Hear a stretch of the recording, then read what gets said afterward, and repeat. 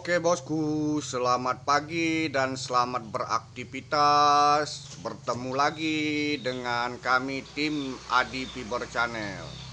Seperti biasa bosku, kita masih bergerak di seputaran fiberglass Oke bosku, sebelum lanjut ke videonya Jangan lupa tekan tombol like dan subscribe-nya dulu bosku Karena subscribe itu gratis Oke bosku, jangan berlama-lama. Mari kita menuju ke TKP.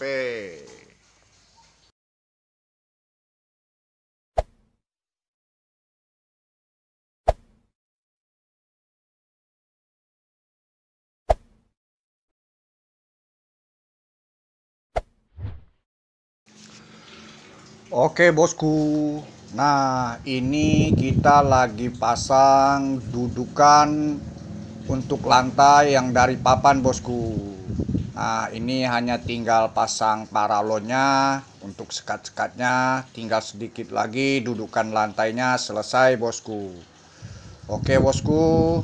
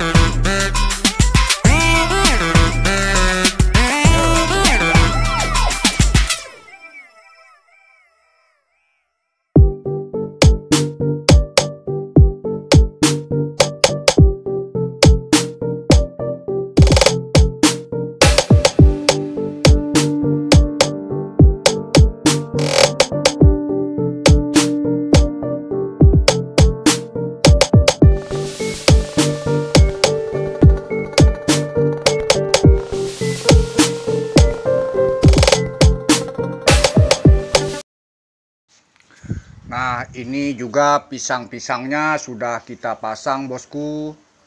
Nah, Nanti tinggal kita cor kita satuin ke gading-gadingnya.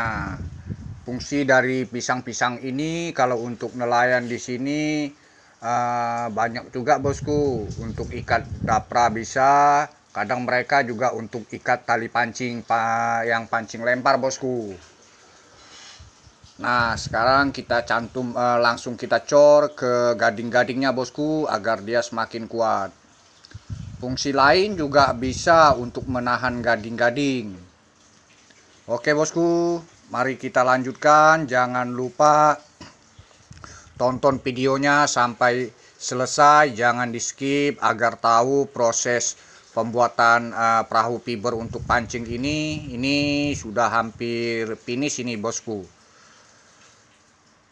Dan jangan lupa bantu like dan subscribe-nya bosku serta di-share juga agar channel ini cepat berkembang bosku ya. Terima kasih bosku.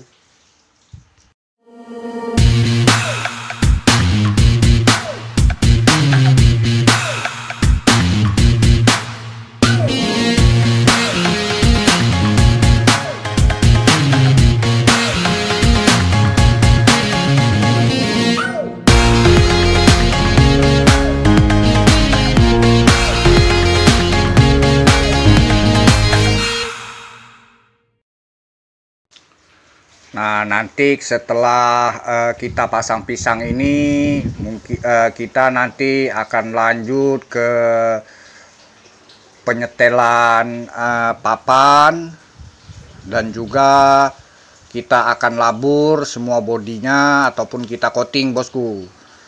Untuk cara pembuatan coating nanti akan saya uh, bikinkan tutorialnya cara pembuatan coating agar tidak nempel bosku. Oke bosku, nah ini kita sudah mulai setting papannya, papan untuk lantainya, dan juga kita akan labur semua lambungnya bosku, semua lambung dalamnya. Kita pakai lambung dalam warna blue cewek bosku. Rata-rata kalau untuk perahu ataupun kapal-kapal ikan mereka pakai warna blue cewek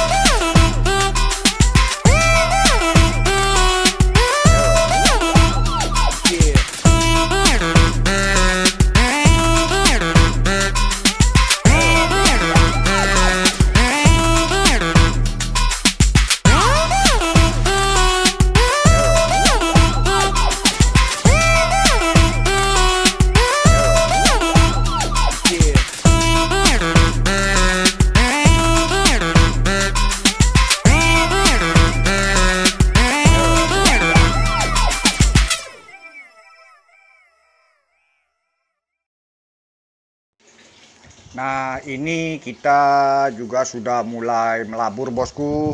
Ataupun kita coating semua lambung dalamnya Agar kelihatan semakin rapi bosku. Oke bosku. Mari kita lanjutkan bosku